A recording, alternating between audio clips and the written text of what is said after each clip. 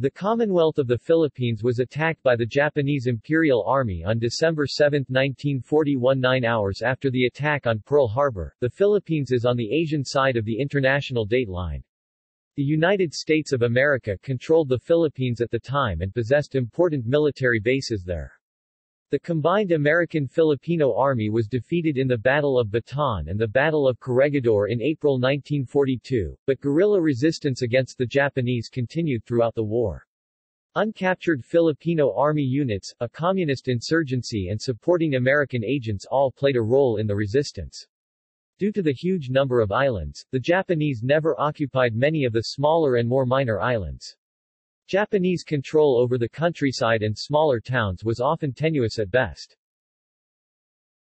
In 1944, Allied forces liberated the islands from Japanese control in a naval invasion. Background in September 1940, Nazi Germany, Kingdom of Italy, and Empire of Japan had allied under the tripartite coalition as the Axis powers. The United States banned the shipment of aviation gasoline to Japan in July 1940, and by 1941 shipments of scrap iron, steel, gasoline and other materials had practically ceased. Meanwhile, American economic support to China began to increase. Japan and the USSR signed a neutrality pact in April 1941 and Japan increased pressure on the French and Dutch colonies in Southeast Asia to cooperate in economic matters. Japanese forces occupied the naval and air bases of southern French Indochina on the 22nd of July 1941. The Philippines was almost completely surrounded. General George C. Marshall, U.S. Army Chief of Staff, stated, Adequate reinforcements for the Philippines, at this time, would have left the United States in a position of great peril, should there be a break in the defense of Great Britain. A campaign for independence from the U.S. which had been ongoing since 1919 resulted on 17 January 1933 in the passage by the U.S. Congress of the Hare-Hawes-Cutting Act over the veto of President Herbert Hoover. The law promised Philippine independence after 10 years, but reserved several military and naval bases for the United States, as well as imposing tariffs and quotas on Philippine exports. Philippine Senate President Manuel L. Quezon convinced the legislature to reject the bill. Subsequently, the Tydings McDuffie Act, which eliminated provisions for U.S. military reservations and substituted a provision for ultimate settlement became U.S. law on 24 March 1934 and was accepted by the Philippine legislature on 1 May. The impact of this on the future defense of the Philippines with the establishment was to prove disastrous.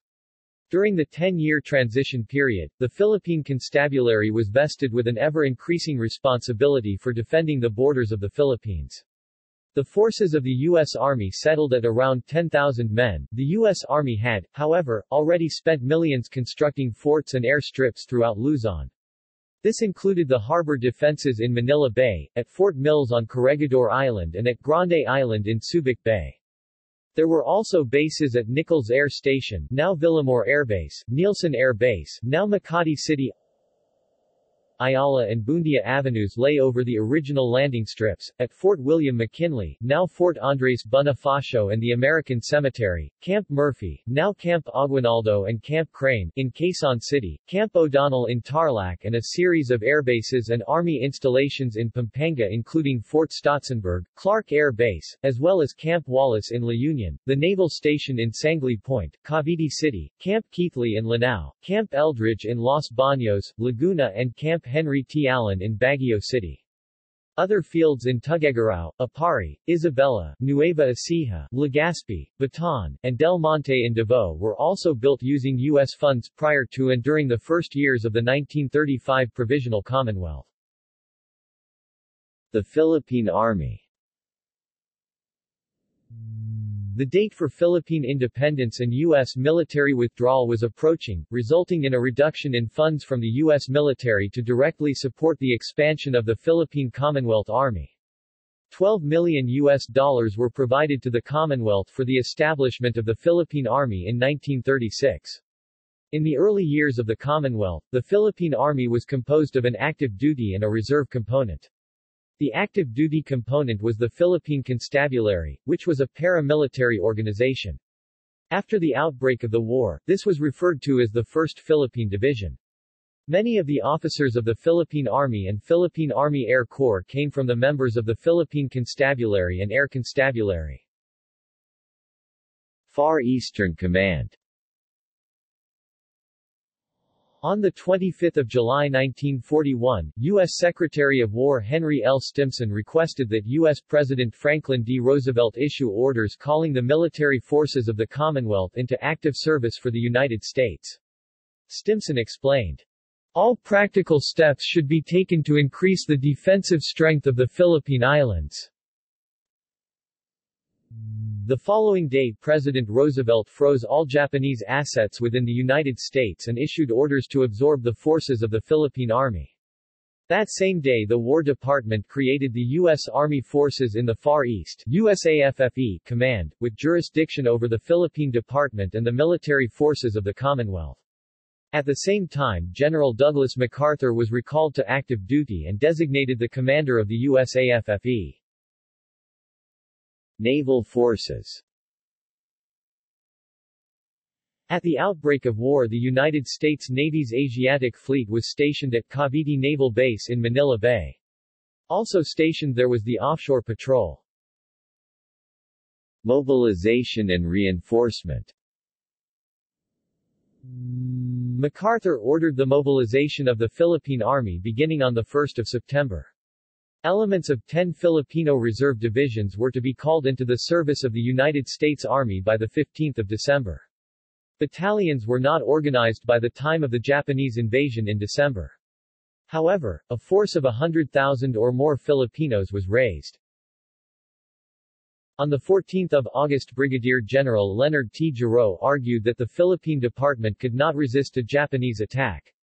He thus recommended that the Philippines be reinforced with anti-aircraft artillery, modern aircraft and tanks.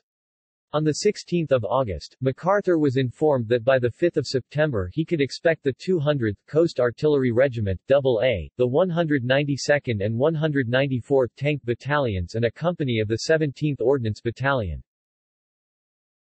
On 5 September Marshall asked MacArthur if he wanted a National Guard division, probably the 41st.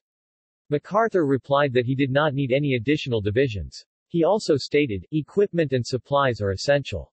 If these steps are taken, I am confident that no such backing, the development of a completely adequate defense force will be rapid. During September and October, in addition to the above-mentioned reinforcements, MacArthur received the 192nd Tank Battalion and 75 self-propelled 75 mm guns. MacArthur strove to reorganize the Philippine Division from a square into a triangular formation. This plan involved shipping in an American infantry regiment and or complementing Stotsenburg and allow USAFFE control of two American combat teams. These plans also involved the formation of four tactical commands, each of corps strength, along with various additional support units. By November the War Department had approved additional reinforcements of 1,312 officers, 25 nurses and 18,047 men. The 34th Infantry Regiment was scheduled to ship out from San Francisco on 8 December 1941. By 5 December 55 ships were en route from San Francisco carrying 100,000 ship tons of cargo to the Philippines. On board were the personnel and equipment of the 26th Field Artillery Brigade, including the 147th Field Artillery, 75 mm, truck-drawn, Regiment of the South Dakota National Guard, the 148th Field Artillery, 75 mm, truck-drawn, Regiment of the Idaho National Guard and the 2nd Battalion of the 131st Field Artillery, 75 mm, truck-drawn, Regiment of the Texas National Guard. These units were diverted to Hawaii and assigned to its defenses. When the Japanese attack on Pearl Harbor took place, there were several air elements en route. This included 52 A-24 Banshee dive bombers of the 27th Bombardment Group, 18 P-40s of the 35th Pursuit Group, 340 tons of bombs and 9,000 drums of aviation fuel. There were also two light field ground echelons of the 7th Bombardment Group, which arrived in the Philippines and were relocated to Mariveles after the evacuation of Manila. The air echelon squadrons of the 7th were en route to the Philippines and arrived in Pearl Harbor on the morning of 7 December 1941. They consisted of 9th, 463rd, 492nd, and 493d Heavy Bombardment Squadrons.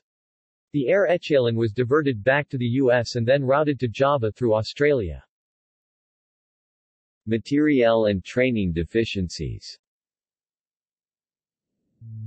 The Philippine Army received clothing that was of poor quality. Their rubber shoes would wear out within two weeks. There were shortages of nearly every kind of equipment such as blankets, mosquito bars, shelter halves, entrenching tools, gas masks, and helmets. During August, MacArthur had requested 84,500 M1 Garand rifles, 330.30 caliber machine guns, 326.50 caliber machine guns, 450 37 mm guns, 217 81 mm mortars, 288 75 mm guns, and over 8,000 vehicles. On 18 September, he was informed that, because of Lend-Lease commitments, he would not receive most of these items. As a result, the Philippine Army was forced to continue using the old Enfield and Springfield rifles. The shipment of supplies depended upon the U.S. Navy's limited cargo capacity. In September, the Navy announced its intentions to convert three transports into escort carriers, but this was not done after MacArthur observed that the loss of three transports would delay his reinforcements by more than two months. The Army then approved requests for 105 mm howitzers, 75 mm pack howitzers, 75 mm guns, .30 caliber machine guns, 37 mm guns, 10 250 feet station hospitals, 180 sets of regimental infirmary equipment, jeeps, ambulances, trucks and sedans. By November, there were 1,100,000 tons of equipment, intended for the Philippines, piled up in U.S. ports. Most of this never reached its destination. Meanwhile, the Navy did manage to transport 1 million gallons of gasoline to the island. Much of this fuel would be stored on the Bataan Peninsula. In 1941, many Filipino units went into battle without ever having fired their weapons. Many of the troops had also never even seen an artillery piece fired. The 31st Infantry Division PA signal officer was unable to establish radio communication with other units in the same camp. The commander of the Philippine 31st Infantry Division, Colonel Bluemel stated, the enlisted men are proficient in only two things, one, when an officer appears, to yell, attention, in a loud voice, jump up, and salute, two, to demand three meals per day. Training and coordination were further complicated by language barriers. Enlisted Filipinos often spoke one language, such as Bicol or a Visayan language, their officers would speak another, such as Tagalog, and the Americans would speak English. There were some first sergeants and company clerks who could neither read nor write. The Japanese decide to attack. The Japanese viewed all the lands of Asia to be the rightful property of the Imperial Japanese government and the emperor. The seizures of Korea, China and parts of Russia, which had begun at the turn of the 20th century, had been taking an upswing. The Japanese had been kept from realizing their goal of unifying or dominating the Asian lands by the presence of foreign military forces in the Philippines, United States, Hong Kong, Malaysia, United Kingdom, and the Dutch East Indies. Japan had hoped that they could strike fast and hold off reinforcements long enough to broker a peace accord from a position of strength. Central to the Japanese goals was the taking of all Asian lands. To be successful US, UK, and Dutch forces were to be attacked simultaneously to prevent their ability to reinforce and aid their Asian possessions. Pivotal to the Japanese decision to attack was a tremendous need for crude oil as a result of economic sanctions imposed by the United States, the United Kingdom and the Netherlands which was weakening the Japanese economy. The Japanese leaders were faced with a choice, end the war in China and their plans for Asian conquest, so as to end the sanctions, or declare war on three large military forces. The current war against Britain, and the Netherlands, and the strain of providing aid by the United States to these countries was seen as an opportunity by the Japanese to extend their rightful place as a ruler in Asia. The Japanese government decided to seize resources under the control of Britain, the United States and the Netherlands. Japan had already placed over 10 divisions in Formosa, Taiwan. Japanese military planners argued that the British and the USSR should they decide to declare war, would be unable to effectively respond to a Japanese attack, given the threat posed by the Third Reich. List of conflicts Battle of the Philippines 1941-42 the 8th of December 1941 to the 8th of May 1942 Battle of Bataan the 7th of January to the 9th of April 1942 Battle of Corregidor 5 to 6 May 1942 Japanese occupation of the Philippines 1941 to 1945 the 8th of May 1942 to the 5th of July 1945 Philippine resistance against Japan 1941 to 45 Battle of Leyte the 17th of October to the 26th of December 1944 Philippines Campaign 1944-45 the 20th of October 1944 to the 15th of August 1945 Battle of Leyte Gulf 23 to 26 October 1944 Battle of Ormoc Bay the 11th of November to the 21st of December 1944 Battle of Mindoro 13 to 16 December 1944 Battle of Carang Pass 1945 Battle of Maguindanao January to September 1945 Invasion of Lingayen Gulf 6 to 9 January 1945 Battle of Luzon the 9th of January to the 15th of August 1945 Battle of Besang Pass, the 9th of January 1945. Raid at Cabanatuan, the 30th of January 1945. Battle of Bataan 1945-31 January 1945. Battle of Manila 1945-3 February 3 March 1945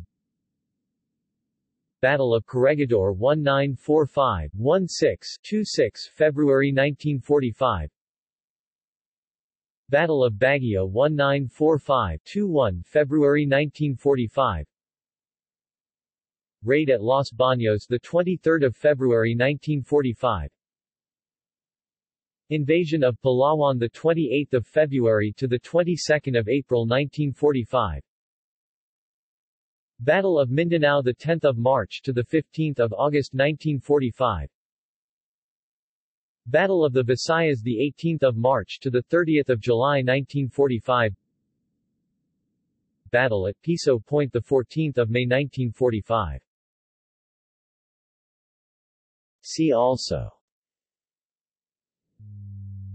General Alfredo M. Santos. Bataan Death March Cesar Basa Comfort Women. Commonwealth of the Philippines. Douglas MacArthur. Harbor defenses of Manila and Subic Bays. Hiroo Onoda Hukbalahap Jesus A. Villamor. Jose P. Laurel Manuel L. Quezon. Military history of Japan during World War II Military history of the Philippines. Military history of the United States. Nichols Field. Nielson Field. Offshore Patrol. Philippine Commonwealth Army Philippine Army Air Corps Philippine Department. Philippine Division. Roy Anthony Cutaran Bennett. Second Philippine Republic. Sergio Osmeña. The Great Raid. U.S. Army Forces Far East. 24th Corps United States Wendell Fertig.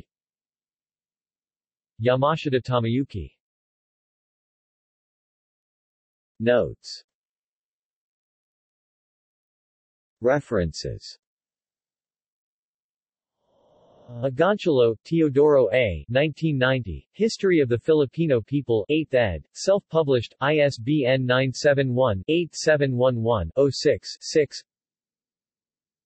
Catlett, George, ed. 1947, The War Reports of General of the Army George C. Marshall, Chief of Staff, General of the Army H. H. Arnold, Commanding General, Army Air Forces, and Fleet Admiral Ernest J. King, Commander-in-Chief, United States Fleet and Chief of Naval Operations, General of the Army H. H. Arnold, and Lippincott. External links